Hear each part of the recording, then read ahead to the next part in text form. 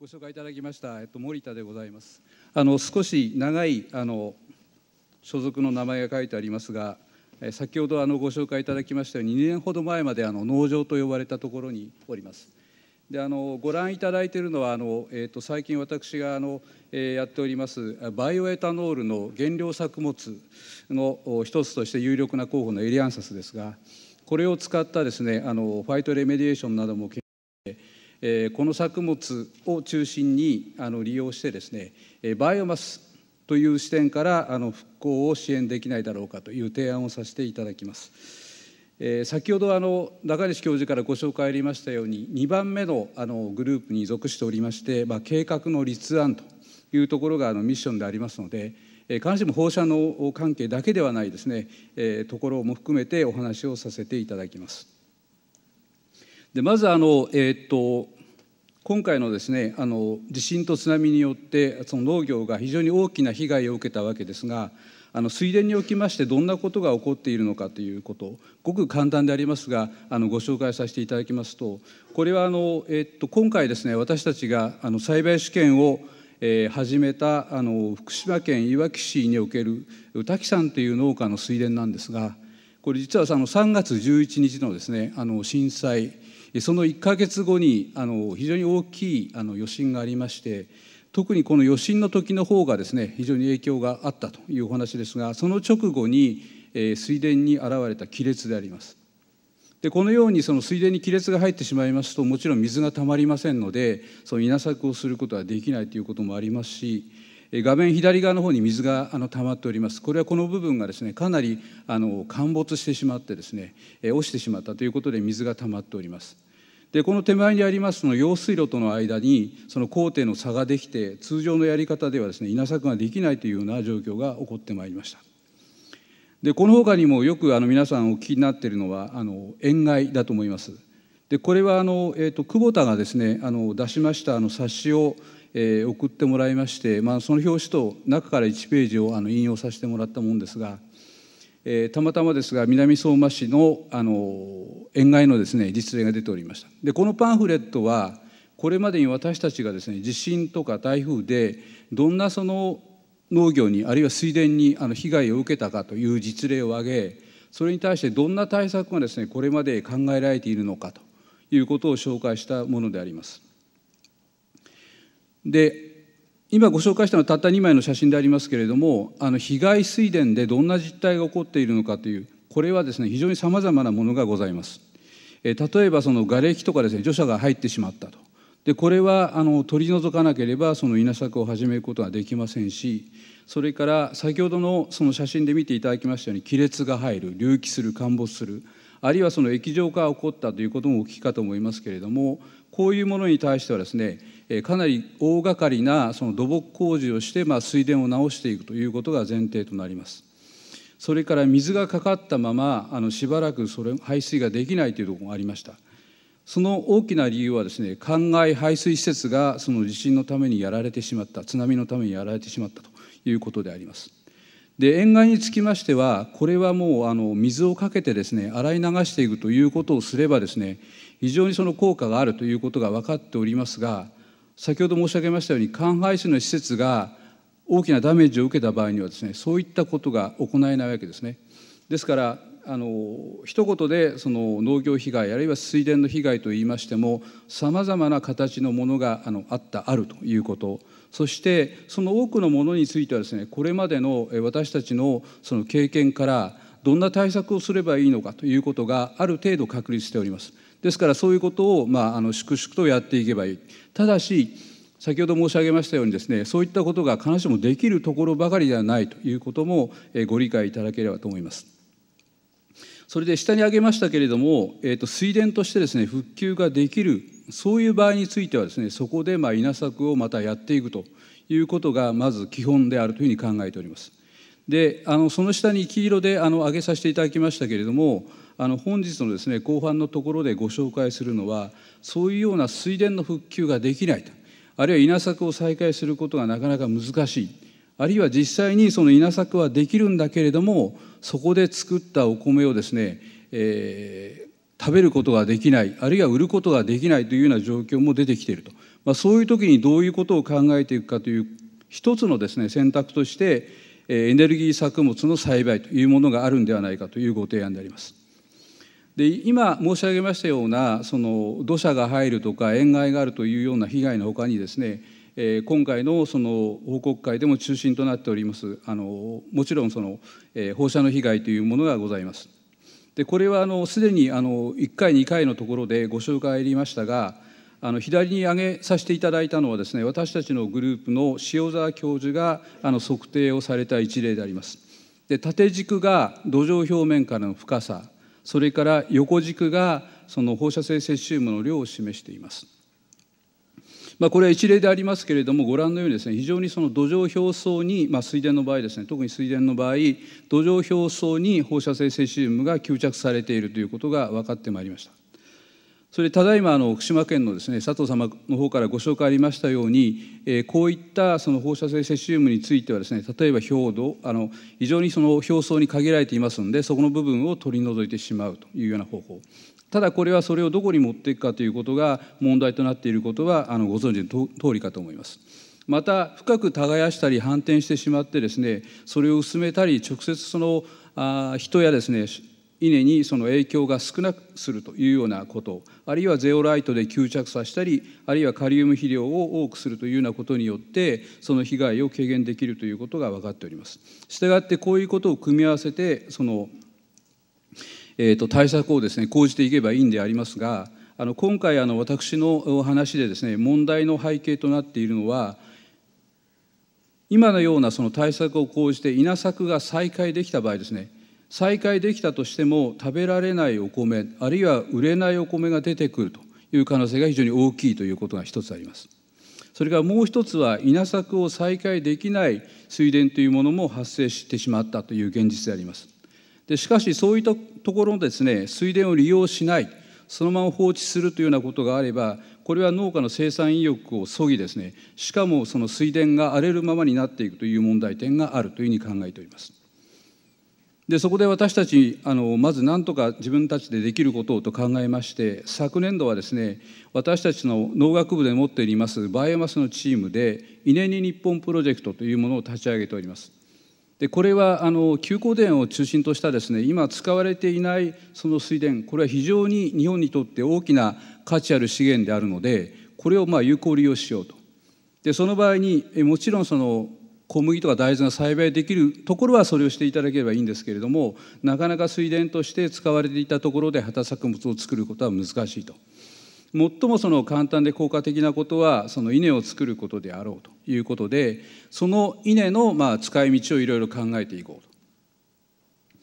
でそれにはいろいろその米粉でありますとか飼料稲でありますとかいろんなものがありますが一つの選択としてそのエタノールを作っていくバイオエタノールを作って利用するということがあるんではないかというプロジェクトを進めております。でこれはあの基本的にまあ水田とかですね稲という日本にとって非常に価値ある資源をですね有効利用しようという点でこの復興支援につながるところがあるというふうに考えまして役員あるいは会員の理解をあの得た上でですね昨年度は「頑張れ日本東日本の米作り」と題しまして3回のシンポジウムを開き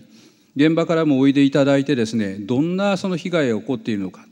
それに対してどういう対策が考えられ講じられているのかということを、まあ、整理するとともに3回目では今日本でもその米あるいは稲わらからですねエタノールを作るという実証事業が動いております。で主な実証事業のすべてについてあの集まっていただいてその現状をご紹介いただくというような活動をしてまいりました。でそういったあの活動を踏まえましてあの今回私があの提案させていただくのはですねこの、えーと、オレンジとそれから赤の部分であります。で青の部分のように被害水田であっても稲作が可能であってそこで食用が可能な稲を作ることができるところはあのやっていただくと。でそれができないところ。つまりその稲作はできてもそこで食べたり販売するお米ができないような場合についてはこれはあのエタノール化するというのが一つの選択ではないかというご提案。それから稲作自体がですねもうでしばらくできないというところにつきましては今からお見せしますけれどもあの資源作物を栽培してこれをエネルギー化していくと、まあ、一番大きなあの候補としてはそのペレット化小さなまあ錠剤のようにしてですねそれを燃やすということがあるんではないかというふうに思っていますけれどもそういうご提案をしたいというのが、えー、私の話の結論であります。で今お話ししましたあのペレットというのはですねご覧のようなものでその藁とかですねあるいは木材を細かく砕いてそれをギュッと圧縮してですね、えー、そうですねあの薬の錠剤よりは少し大きいようなものなんですけどもそういうものにこう圧縮化してですねそれを燃やすと。それでエネルギー化をしていくというそういうあのことでありまして私たちのそのグループではあの妹教授がですねこのペレット化のあの研究を進めておりますのでここで私たちがその資源作物エネルギー作物を栽培してそれをそのペレット化してその燃料として利用できるというようなところの話を一つつなげていったらどうかというふうに考えております。でそれであの、えーと、1年間ちょっとフットワークが悪かったんですけれどもようやくですね今年になりまして実は今週でありますけれども5月の21日に福島県のいわき市これあの一番最初に見ていただいた亀裂があの入ったあの滝さんの水田なんですけれどもここはまあ通常の形では稲作ができない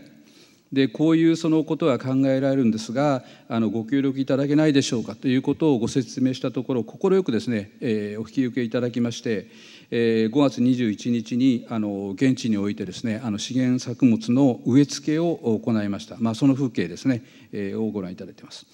でここで何をその、えーと、栽培しようとしているかといいますとですねこれあの苗を植えたところなんで非常にみすぼらしいしょぼいあの写真でしかないんですけれども左側がエリアンサス右側がジャイアントミスカンサスという作物であります。これいずれもですねイネ科のですね多年生作物であるという共通点がありまして非常にバイオマス生産性が高いつまり非常に大きくなるという特徴を持っています。でうまくいった場合というところであの、えー、見ていただきたいんですけれどもこれは東大農場で、えー、栽培した3年目のエリアンサスであります。でこれはあのサトウキビとですね非常にあの近いところの植物でありまして、まあ、サトウキビと掛け合わせることができるということであの育種に利用されるという形で残ってまいりましたけれども非常に高いバイオマス生産性を示すということこれが特にですね日本のあのまあ、北関東辺りから南においてですね非常に高いバイオマス生産性をあの示します。でもう一つあの、えーと、植え付けをしましたのが、えーと、ジャイアントミスカンサスというこれあのススキの仲間ですねご覧のようにススキのような穂が出ているところでこれは苗をご提供いただきました、えー、北大の山田教授から提供していただいた写真ですけれども北大の農場でこんなにあの大きくなります。でこの2つのあの作物のほかにあのわずかですけどトウモロコシを植えまして、まあ、トウモロコシだったらダメだろうという比較の上にこの2つのですねエネルギー作物がどれくらいできるのかということを見ようとしております。でこういうことをやることによって、まあ、どんなことが期待されるかということいくつかありますけれどもここではですね3点あの挙げさせていただきます。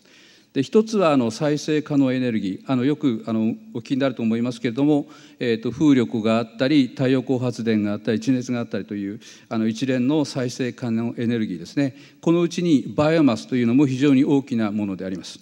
で特にあの他のものがその電気の形でしか出てこ、ないと。いうことに比べましてバイオマスの場合にはですねえー、ガス化したり、えー、もちろんそのままあの燃やすこともできますしそれからエタノールとして液体燃料として使うことができるというようなメリットがあります。でこういった再生可能エネルギーの地産地消がその可能になってくるということであります。それから2点目として、まあ、あのそれとカップルしておりますけれどもこういう新しい試みをすることによって現地にですね雇用を作り出すことができるとそしてその地域の振興を進めることに貢献できるであろうというふうに考えております。それから3番目としましてあの水田ですねこれがあの荒れていくことを防ぐつまり水田の保全を進めながら農家の生産意欲もあの維持していくことができるであろうといったようなことをその期待しております。でもちろんその検討すべきあの課題もいくつかございます。今私たちがあの主に考えている点を4点だけ挙げさせていただきますが一つはあの栽培試験。先ほどご覧いただいたのはですね東大の農場とかあるいは北大農場という畑の状態であの十分に今あの肥料もやった上であの管理してああいう高いバイオマス生産が上がります。でただし問題のところではかなりその水田土壌ですから、えー、土壌水分が高いそういうところでうまくできるんであろうかということ。それからエネルギー化これはですねあの直接燃焼したり、まあ、ペレット化ということを考えておりますけれどもどういうことがいいのかということはこれから考えていく必要があります。それからもちろんそのエタノールにするにせよあるいはペレット化して燃やすにせよそこで、えーと、放射能の問題が出てきます。これを拡散させずにですね原用化して集中管理できるような形に持っていくという対策は考えなければなりません。それからあの持続性という点ですねこれは23年で終わってしまっては何の意味もありませんので現地においてどれくらいその事業性があるのかあるいはその現地で問題となっている耕作放棄地対策にも利用できないかといった点をあの検討していきたいというふうに考えております。で以上はあの、えーと、繰り返しになりますけれども私たちからの提案といたしまして被害水田でその稲とかあるいはエネルギー作物を栽培してこれをエネルギー原料としてまあ利用していくということで農家の意欲を生かしながら被害水田のまあ保全とリハビリを行い将来的にはその稲作を再生していくということそして新しい雇用を創出して地域振興を図るということを目指していきたいと思います。で最後にあの謝辞という形でですねちょっとあの構成をあのご紹介させていただきますと、えー、昨年度の計画立案については東京大学の AGS 研究会そして今年度の栽培試験におきましては JX 日光日赤エネルギーのご支援をいただいております。で東京大学につきましては栽培試験エネルギー化放射能測定についてご覧のようなあの担当で、えー、進めていく予定でジャイアントミスカンサスエリアンサスの苗につきましてはあの知財権が伴うものですから、え北大の山田教授農林水産省のガウ先生からですねご支援をいただいています。また現地では福島県いわき市の滝さんのまあ、水田をあのお借りしているということそして、え現地にですね非常に詳しいいわき農林事務所の根本さん笹川さんのお二人には、え現場の、連絡調整を含めていろいろアドバイスをいただいております。でこれがあの最後のスライドでありますけれどもあの復興計画ということはですねどれくらいの時間スケールで考えるかどの場所で考えるかあるいはどういう条件かでいろいろ変わってくると思います。で選択の幅は広い方がいいというふうに考えておりまして何もこれは0か100かで考える問題ではないと思います。まあ、その中の一つとしてその提案させていただきたいという点。それから2番目はですねあのまずこういうお話をすると経済性はどうかということをあの聞かれます。で、えー、もちろんその経済性の問題があることはあの承知しておりますけれども、えー、環境性それから社会性つまりこれをやることによってその地域の環境にどういうメリットがあるのかあるいはその地域振興できるのかという点も含めたですねバランスのいいあの評価をしていただければというお願いであります。で私たちとしては水田稲作を基盤としたバイオマスの利用でですねあの福島の地域振興を目指していきたいというふうに考えておりますので、えー、ご支援いただければと思いますどうもありがとうございました